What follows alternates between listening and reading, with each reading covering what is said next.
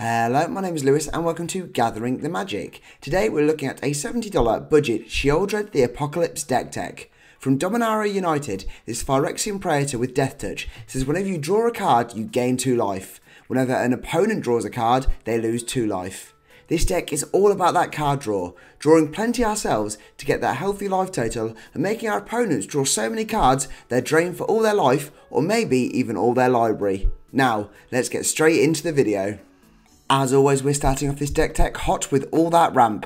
First with Decanter of Endless Water and Thought Vessel to add one mana of any colour and colourless to our mana pool respectively, with them both having that card draw loving no maximum hand size text. We have Arcane Signet to add black and Mind Stone to add colourless with that secondary card draw sackable option. There's Dark Ritual to add 3 swamp to your mana pool and Wayfarer's Bauble to pay and sack to search your library for a swamp, putting it onto the field untapped.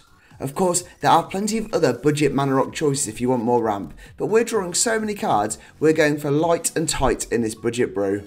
And finally, we have Sol Ring, because Sol Ring. Before we get onto all of that card draw, make sure to smash that like button and subscribe down below for all things MTG. Subscribing is completely free to do, and it helps our channel grow and grow. If you're buying cards, then look no further than Cardmarket. You can also use our affiliate code when registering to help the channel that little bit more. You love to see it. Now we're looking at all of that card draw, cards for you and your opponent. First on up we have Foreboding Fruit and Night's Whisper to draw two cards and lose two life, with Foreboding Fruit allowing any player to be the target and can create you a tasty food token. We have more Draw 2 Lose 2 in Succumb to Temptation and Pointed Discussion, with the latter also creating you a blood token. Then yet another dose of Draw 2 Lose 2 with Sign in Blood and Blood Pact, both allowing for any player to be the target. As is expected, the more chances we have to get any card draw going, the more Sheoldred will trigger, gaining us life or draining our opponent. For the fourth and final part of Draw 2 Lose 2, we have Painful Lesson and Read the Bones, with Painful Lesson hitting any target and Read the Bones targeting you, also letting you scry to. For our first win con, we have Peer into the Abyss to make target player draw cards equals a half of the number of cards in their library and lose half their life, rounded up each time. Make your opponents draw half their deck, lose half their life, and trigger Sheoldred to make them lose 2 life for each card drawn. That's one opponent down. And Promise of Power to draw 5 cards and lose 5 life. There's Liliana's contract that ETBs drawing you 4 cards and losing you 4 life, with another win con if you control 4 demons with different names on your upkeep. And you bet we have a few fun demons in this deck. And Pain's reward to bid any amount of life, with each player bidding in turn, ending when the high bid stands. The high bidder loses life equal to the high bid and draws 4 cards. We have Teferi's puzzle box that says at the beginning of each player's draw step, they put the cards in their hand on the bottom of their library in any order, then drawing that many cards and Dark Deal that says each player discards all the cards in their hand, then drawing that many cards minus 1. Onto the X spells, we have Damnable Pact to have target player draw X cards and lose X life. Double Deadly if targeting your opponent.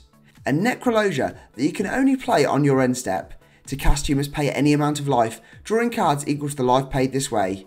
We have Howling Mind to make each player draw an extra card during their draw phase, and Master of the Feast, a flying demon that says at the beginning of your upkeep, each opponent draws a card. There is another demon in Syxon, Perverter of Truth, to make each player draw two cards and lose two life at the beginning of their upkeep. And Rankle, Master of Pranks, that when deals combat damage to a player who can make everyone discard a card, lose a life and draw a card, and sack a creature.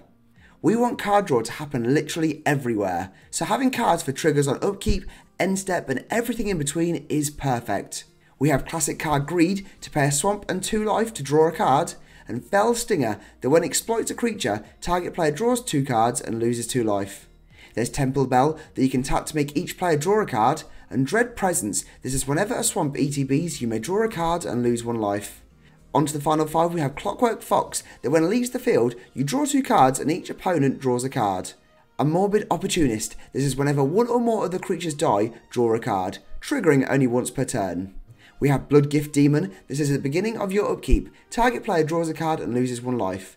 And Underworld Dreams. This is whenever an opponent draws a card, it deals one damage to that player.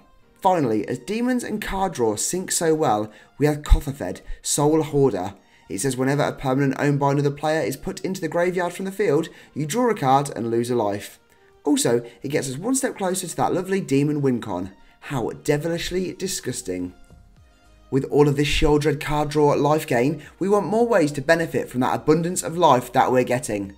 First up is Bolas' Citadel. We can use this extra life advantage to peek and cast non-land cards from the top of our library by paying life instead of mana cost, with that extra naughty option to sack 10 permanents to make each opponent lose 10 life too. And Revenge of Ravens to gain us a life and ping our opponents for 1 whenever a creature attacks us or a planeswalker we control. There is another win con in Lich's Mastery, a hexproof enchantment that says you can't lose the game. Whenever you gain life, draw that many cards. Whenever you lose life, for each one life you lost, exile a permanent you control or a card from your hand or graveyard. And when it leaves the field, you lose the game. Although this card is a big risk, if Sheoldred is out, you're drawing through your entire deck, having that one big chance to play everything you need to get the win. And Erebos' intervention to give target creature minus X minus X until end of turn. You gain X life. We have Sanguine Bond and Vito the Duskrose that both say whenever you gain life, target opponent loses that much life, with Vito having that added option to give your creature's lifelink until end of turn. We have another life gain and drain with Flying Vampire Defiant Bloodlord, an Epicure of Blood. This is whenever you gain life, each opponent loses one life. There's yet again another gain and drain for one opponent damage with Marauding Blightpriest, and Bloodthirsty Aerialist. This is when you gain life, put a 1 1 counter on it. For the final two, we have Witch of the Moors that says at the beginning of your end step, if you gain life this turn, each opponent sacks a creature and you return up to one target creature from your graveyard to your hand. And good old Gary, that when ETBs, each opponent loses X life, where X is your devotion to black.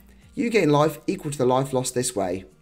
Before we finish up with those lovely, lovely lands, let's look at the best of the rest in this budget brew. First up is Merciless Executioner, that when ETBs, each player sacks a creature, and Plaguecrafter to do the same, but players can also sack a Planeswalker. Those who can't must discard a card. There's Dread Cacodemon, that when ETBs, if you cast it from your hand, destroy all creatures your opponents control, then tap all other creatures you control. And Fleshbag Marauder for some more ETB creature removal. There's more removal in Murderous Rider to destroy target creature or planeswalker, losing you 2 life, and Feed the Swarm to destroy target creature or enchantment an opponent controls. You lose life equals that permanent's mana value. We want plenty of removal here. Our game plan is card draw heavy rather than big board heavy, so keeping our opponent's army to a minimum whilst we ping them to death is crucial. There is more removal with Invoke Despair. Target opponent sacks a creature. If they can't, they lose 2 life and you draw a card. Repeating the process for an enchantment and planeswalker. And Baleful Mastery to exile target creature or planeswalker. If the cheaper casting cost was paid, an opponent draws a card. Even more card draw too, you love to see it.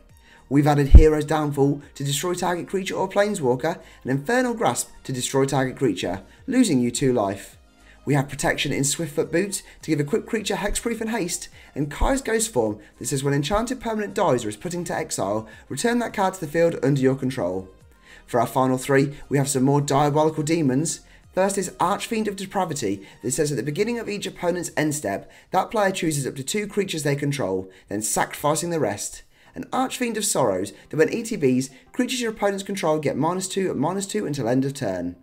Finally, there's Dream Devourer that says each non-land card in your hand without Foretell has Foretell. The Foretell cost is equal to its mana cost reduced by 2.